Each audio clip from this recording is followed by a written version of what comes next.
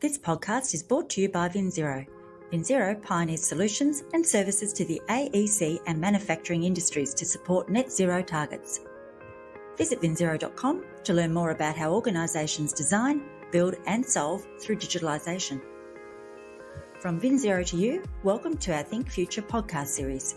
Each week, we'll share conversations with industry leaders from around the world to find out how they're thinking future. Subscribe to VinZero Think Future for access to more episodes, interviews, and profiles. Jason Howden is the Principal and Digital Innovation Leader for Warren and Mahoney Architects. As an internationally sought after expert on technology in the built environment, he is the practices leader on all things BIM. For over 25 years, he's been at the forefront of the field, leading its development, promotion, and education around the world. Jason has led project teams on some of the world's largest public service facilities in the UK, Australia, and New Zealand, and is an innovative, strategic thinker, passionate about sustainable design empowered by integrated intelligent technologies.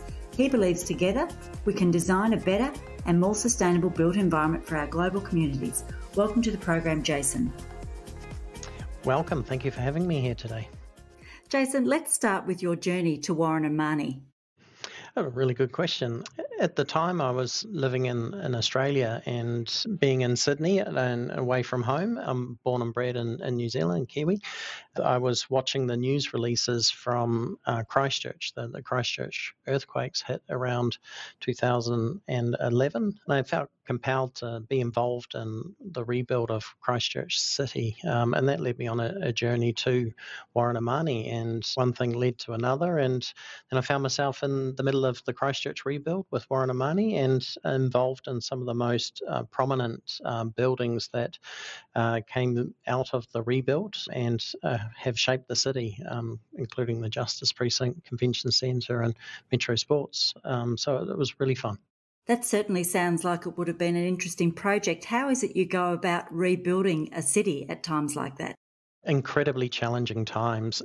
Warren Mahoney was involved in the original blueprint document that was the well, essentially the blueprint for a, a, brand new city after the devastating earthquakes. That in itself was an amazing piece of work. I, I believe I wasn't involved in that. I was still in Australia when that was being done, but our team worked with lots of professionals and contractors and ministers of government. I, I understand it was like a, a hundred hour sprint to kind of come up with a blueprint to shape a new city and and have it on a essentially a plan on a page um, for redesigning an, a, a, whole new city. And that included 16 anchor projects that would kickstart the investment after the devastating earthquakes. And I was fortunate enough to work on I think almost half of them, uh, which is an amazing opportunity for anyone's career to be involved in uh, city shaping at such a large scale. But I guess more importantly, to implement BIM as part of that and to leave a digital legacy, not only the built legacy for many generations to come. And would it be fair to say that the consideration of those projects, there was a lot of focus around resilient design? Absolutely. The response going forward, it was very fresh in our mind what had happened with the earthquakes. I remember arriving from Australia to Christchurch in New Zealand, and we were still receiving significant aftershocks. Uh, earthquakes in the high fives, low sixes was a common occurrence. So uh, we were on a, a daily reminder that we're visitors on this planet, and the planet has got forces that can influence the entire city in a moment. So um, building the resilience into the new city infrastructure was was top of mind, and I, I learned a whole new almost design discipline around how to respond to seismically resilient buildings. And having a building that is able to accommodate earth movement of uh, six or seven hundred millimeters is a whole art in itself and the science and the technology that has been developed actually here in New Zealand to create base isolating buildings or base isolated buildings is fascinating in itself. So, what do you consider the difference between resilient design and sustainable design? Now, they actually go hand in glove. A resilient building, uh, I feel, needs to be a sustainable building in itself. I guess they're not mutually inclusive of each other, but that they do respond to each other. Climate change and the responses that we need to take, it also creates a resilient building. The the resilience that you get from a responding to say an earthquake is, is one thing. Being able to have a building that is safe and occupiable after a significant event like that is is one thing, but also having a building that can respond to the incremental changes that climate change is posing uh, on on the, the I guess the natural environment and noting that a building will be standing for 50, 60, 70 years, it's going to go through some significant changes as temperatures rise, wind um, speeds increase, rainfall actually increases the sizing of our gutters, let's say particularly internal gutters might need to double or triple in size. So being able to understand that, predict that, and design that in so you have a resilient building to respond to climate change is an emerging field that I think we'll, we'll see evolving. So, talk to us about what sustainable design means to Warren and. 2020 um, marked a pivotal year um, for the globe and for Warren and Mahoney. Um, whether we made a, a, climate commitment, a carbon commitment ourselves uh, to reduce our embodied and carbon within our new designs with our clients by 40% and to improve the operational efficiency of our buildings by 50% that we designed. So, sustainability at Warren and Mahoney is a core fundamental, and we use technology to help inform that decision making as we embark on our designs. So I know that they say sustainability isn't an isolated dimension of a project. What does that actually mean, though? There's multiple dimensions to a building project. They're not just a three dimensional component that lives on the planet. They live within the planet and the people who inhabit them and create them. So there's multiple dimensions to the sustainability, whether it is inclusive design or co design with the Indigenous people or responding to the natural environment that may have been lost or forgotten as part of the urban development that has kind of grown up around our um, cities and, and built environment. So th- there's many parts to it, and it's not just thinking about the thermal performance, the embodied carbon, or the operational efficiency. It's orientation, it's uh, natural ventilation, and it's just the feeling that you get when you go into a, a modern building these days.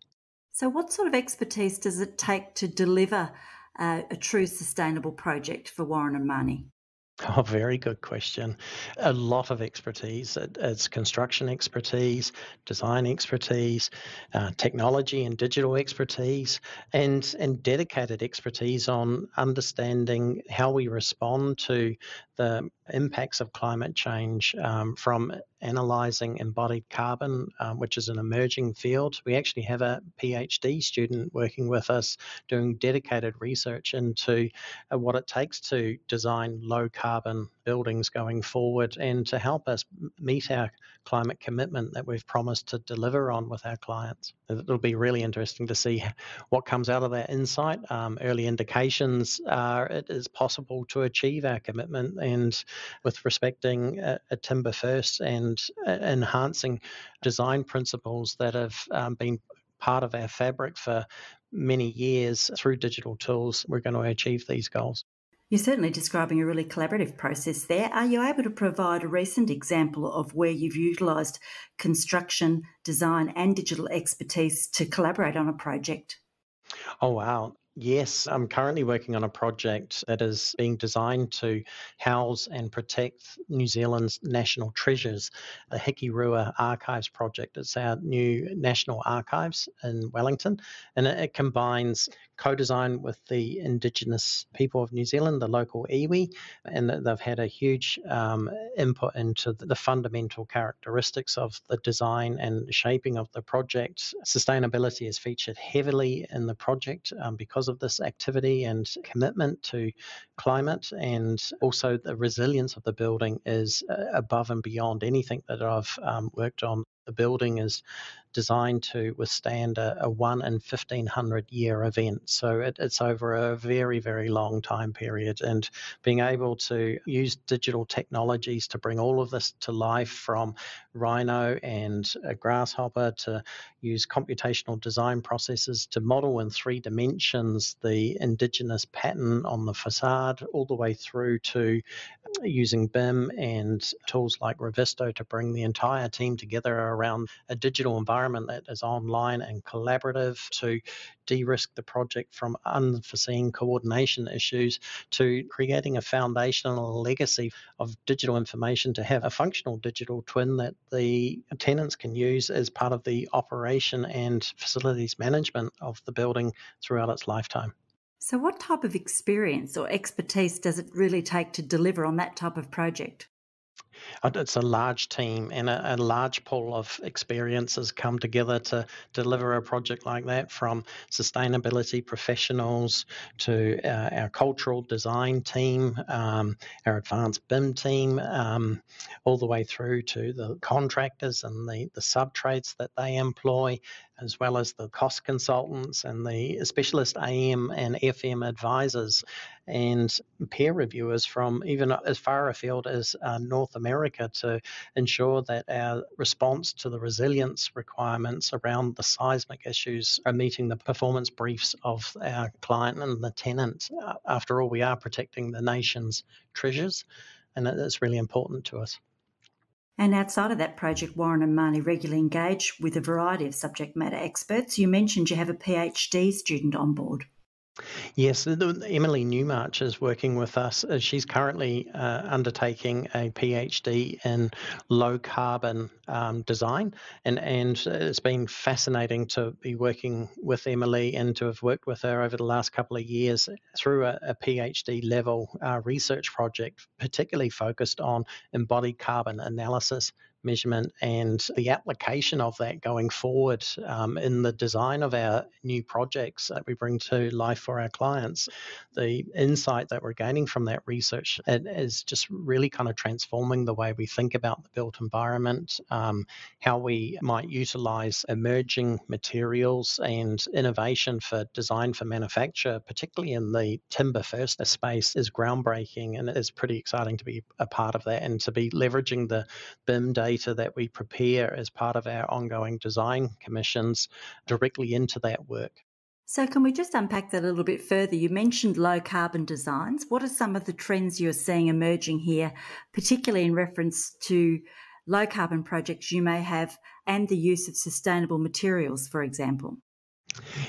Yeah, some of the, the big trends that we're seeing, particularly in New Zealand, is um, a real shift towards mass timber, um, CLT, LVL. Um, it is growing exponentially, and it's pretty exciting to see this really deep understanding of what it means to ensure that we have a sustainable ecosystem for construction going forward and at the same time protect our environment. There's a, a much greater awareness around the impact concrete has, or more specifically, the manufacturing of cement for concrete inside our built environment has.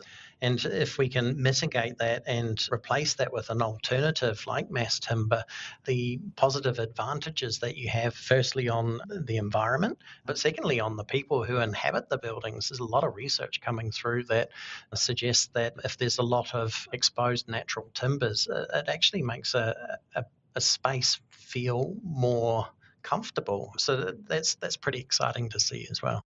And Jason, it's not just about timber, there's also the opportunity to integrate cork, for example, as a sustainable material. Yeah, cork is, is, something that I've been following um, online and, you know, championing with people here in New Zealand as well. Cork has some special properties, particularly expanded cork. When cork granules are um, superheated with steam, they expand a bit like popcorn, and the natural resins that are produced bind and hold the cork together, and you can form it in a essentially a very large cake tin and then afterwards slice it up and it becomes a really incredibly efficient the properties of it for thermal performance are really high. For an inch of cork you can get an r3.2 which would be equivalent to say four inches of fiberglass insulation. So there's some real exponential performance gains by embracing the natural world again. And i think this um, convergence that i see with the digital analytics that we can do to predict the demand for thermal performance uh, in the built environment combined with our responses that we need to take to minimize the impact on the environment together with this deeper understanding of you know how uh, important and how great the natural environment already is and bringing them together to create a built environment that is more sustainable higher performing and in the process of assembling that building we're sequestering carbon that has been harvested by trees and and locking it up in buildings that might stand for 50, 80, 100 years going forward. And I think we're seeing a, a real renaissance and an emergence of a new craft and a new architecture as we advance. Are you looking for a digitalisation and net zero partner to help you achieve your goals? Join the thousands of AEC and manufacturing customers globally who have turned to VinZero to start their journey toward a net zero future. With 32 offices around the world, VinZero can connect you to the right technologies and workflow processes so you can maintain your competitive position and increase profitability. VinZero has an industry expert to help you navigate the best pathway forward wherever you are on your digitalisation and net zero journey. Visit vinzero.com to find out more. And of course, there's another big focus emerging now for the built environment with adaptive reuse projects as well. Yeah, and how can we reuse the steel and concrete buildings that we've created? They're, they're wonderful structures. We don't need to tear them down and put them in landfill. How can we peel them back and refresh them for a, a new life, a new purpose for the next 50 years? Uh, and that's where I get pretty excited about the range of emerging technologies in the scan to BIM space. You know, a few years ago, we invested in our own laser scanner and we've used it on a numerous buildings up and down the country and as far afield as Australia. But now you can actually have a laser scanner that's combined with a drone. So the technology every day is just changing so fast. It's getting better, it's getting faster, it's getting easier to use, and it's also getting cheaper. So the things that we're about to do as we advance forward in this space by embracing technology just really excites me. So, how does the application of digital help us design for deconstruction? Uh, if we're creating our designs using the BIM processes from the get-go, we can start to include metadata inside the digital objects, that essentially the prototype of the built thing that will come later. And some of that metadata might be information on how to deconstruct a building or the order that you might deconstruct a building. Maybe it's as simple as providing some information around the tools or maybe the health and safety measures that you might need to consider uh, in demounting a wall, or it could go as far as uh, prototyping and manufacturing the wall so it's deconstructible. Another exciting New Zealand company called X-Frame have used digital tools together with plywood to essentially make partitioning demountable and reusable and you need very very little fixings no glue. It's kind of think of timber lego um, for construction and you can create the framing uh, very quickly on site and then you can line it and then you can take the linings off and you can uh, demount this framing and and reuse it on another project or reuse it in another part of your existing project. So digital is enabling data and design to test and assess adaptive reuse before it actually happens. Absolutely, and um, I'm seeing emerging trends around um, the gamification of, I guess, the design industry that I work within.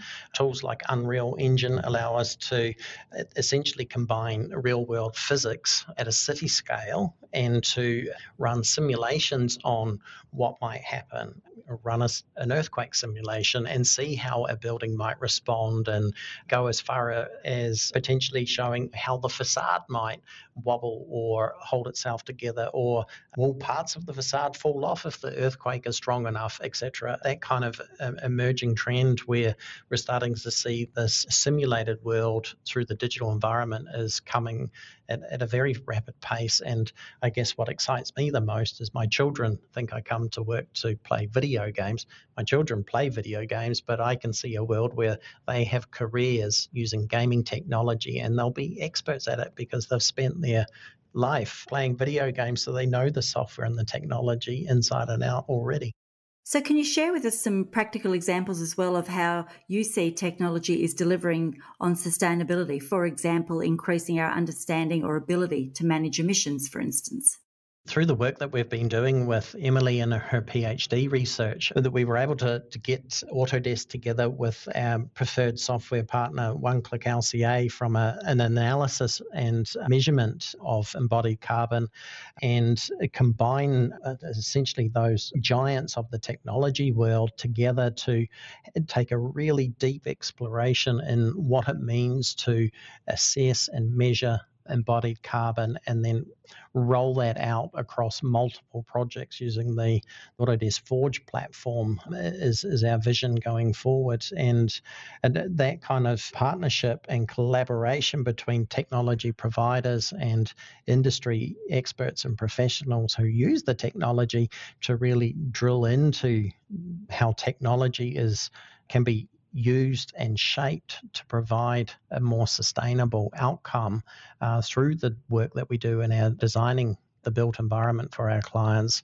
is really empowering. And to see how we can use these tools and the response that you get from the designers and the clients when they can see the data and know that the data is robust and trustworthy because it's been assembled by scientists who are working in deeply in the field of carbon analysis and it's combined with the geometry from our BIM models and we know that we've counted the carbon the right way and we can see apples for apples from a carbon perspective is incredibly empowering for our clients to know essentially the weight of their building and what kind of footprint it has long before any piles have been driven, foundations been laid, let alone the building being open for operations. And I know we, we touched on it before, but again, I'd like to call out and congratulate Warren and Mahoney for its own effort as a zero carbon operation. Share with us a little bit more about that journey. Hmm, we've been zero carbon certified for over a decade. The Warren and Mahoney have believed in a, a, sustainable response for a very long time. And that just reflects throughout all of our operations, all of our flights are measured and offset. We've invested in a, a number of key initiatives up and down the country for native regeneration of our natural and native forests, which is, is really empowering, including days where staff have gone out and helped to plant and seed new forests on the Banks Peninsula in Canterbury it's really dear to our heart and it goes across all facets of the business and including as far as real-time energy metering of the electricity that we use in our Christchurch studio and then connecting that back to our, our BIM environment so we can start to understand and analyze how our daily operations utilize energy and how we might be able to make subtle shifts in reducing that impact depending on environmental changes that are happening outside. A core belief that we all share at Warren and Mahoney is a, a respect for our commitment to our response to climate change. That commitment uh, is part of a, a mantra that we have and as part of that, we understand that the impact that we can have as an individual can go so far. We can choose to not drive the car and take the bus, or to take the keep cup as opposed to have a takeaway cup when we get our morning coffee.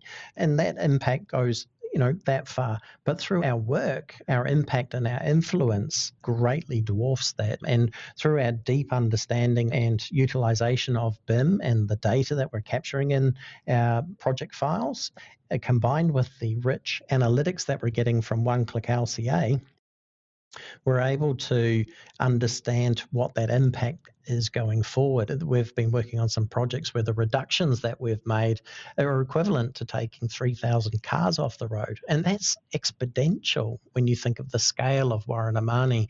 Um, we have 400 staff. We work on hundreds of projects in Australia and New Zealand and around the Pacific Rim every year. And if every project was taking 3,000 cars off the road, that's a huge impact, much greater than the 400 uh, of us all riding our bikes to work. So, what are the biggest problems you see now that still need to be solved for the built environment?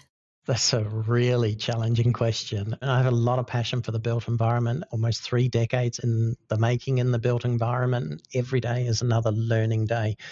Some of the challenges that we'll face absolutely, climate change is going to be a huge challenge. And uh, the response is that we will innovate to respond to that. It will really challenge us to think outside the box at every aspect you know, just designing a gutter for resilience over a 50 year period when the rainfall was going to increase potentially exponentially. And how do you do that? So it was going to take everybody to come together to understand how we will design a better built environment going forward. And more importantly, how can we take those learnings and share that with the custodians of the current built environment so we don't leave our, our, current world behind and try and create a new world because the planet is finite and we can't rebuild the entire world again because that would be the worst thing for climate change. We need to work together. And I think therein lies uh, the biggest opportunity of collaborating, sharing knowledge, leveraging the digital environment to empower that, leveraging tools like Web 3.0, uh, the future metaverse, uh, so we can share knowledge and express the human creativity and take that to a new level in partnership with the contractors and the builders that are going to be building what we design. So, really, it's about, uh, amongst many other things, building more with less. Absolutely. And uh, I am really excited about the future. And I think, you know, we're on the cusp of a, a new renaissance where quality over quantity is going to be um, the popular talking point, and that will empower us to really take design and the craftsmanship that's behind that design to another level and truly respect it. Let's challenge ourselves to design a building that will last 100 years, not 30 and design it to the level that it will stand there and be timeless for a hundred years. What an amazing challenge to undertake! I'd love to work on a on a project where that was one of the brief criteria that this project must last for a hundred years, and to work through the details, to use the digital tools to simulate and prototype and give our clients and the project teams and project partners the confidence that what we are creating today will still be there in 100 years' time. And I know you're very passionate about collaboration. So I think you've talked about it before in terms of digital alignment and how you actually work with organisations to help get all the key stakeholders aligned. In that type of new future and in that type of challenge, that's going to become even more important. What advice do you have for organisations in terms of how to get alignment? Talk to each other. You cannot. Um overstate the importance of talking to each other, whether you're talking via Teams or whether you're in a room together. Um, uh, communication, collaboration is at the heart of everything that we do in the built environment. And uh, championing and elevating the art of collaborating clearly amongst each other is one of those kind of fundamentals that you've got to get right. Parallel to that, aligning your digital environment as much as you can so you can seamlessly work and share the knowledge that you create as part of the process of designing or constructing a building is key to getting the return on that investment. And, you know, lastly, lean into the innovation that is coming in this space. What a wonderful almost excuse to, to engage with the next generation of augmented reality glasses or headsets that come from Apple because you can go to site, you can wear them, and you can see the future installation of a plant room before you go and have to install that plant room for real. It's so great to hear your passion for the built environment and the role of technology. So, as we close out our podcast today, let me ask you with so much exposure to technology and innovation, when you think future, what excites you the most? I touched on it before around the gamification of the uh, of our industry. I think I'm most excited about the potential of WebPoint uh, 3.0 and the metaverse and what that might mean. I'm seeing a number of converging trends around, predominantly around Unreal Engine. The recent partnership between Epic and Autodesk is potentially a game changer. We've got the largest technology provider to the built environment partnering with the largest developer for the gaming environment coming together, and that convergence of super scaled digital tools is, is just mind blowing and I think a huge opportunity. If you can have a virtual conference in Fortnite where 10 million people come together and collaborate and dance to a, a, a rap concert, just imagine what you could do in the built environment if you can have the entire project team assembling and, and commenting and working through a prototype of a, a building um, from contractors to plumbers, um, from clients and stakeholders all coming together together. To me, that that, that feels like an, a magical time where um, the vision, the dream that we had for BIM 20 years ago is suddenly realized, and we're on the cusp of having the the tools to deliver it. I would encourage the people behind the tools because they are the most important component to embrace the emerging tools, trends, technologies. It's only going to give us superpowers. The robots aren't coming to take our jobs just yet. We've got plenty of time ahead to design a better future. And I'm sure, Jason, you're going to be leading the steps all the way. So we definitely look forward to having you back on the program in the future and hearing about how you and Warren and Mahoney have engaged with some of those innovations. Thanks for joining us. Thank you again. It's been a pleasure. This podcast was brought to you by BIMZERO. BIMZERO help the AEC and manufacturing industries keep pace with digital change and achieve their technological and sustainability leadership goals. BIMZERO is a company that cares about creating and building a better world. Together, we are working with industry and environmental experts, providing forums and platforms through our BIMZERO Think community to create conversations that matter to our future generations. We invite you to join in the conversation and participate in our Think community. Like and subscribe to Think Future to stay up to date with the latest innovations and conversations as we take AEC and manufacturing around the world closer to zero. You can download our podcasts at bimzero.com or from your favourite podcast platform. From BIMZERO Think Future, thanks for listening.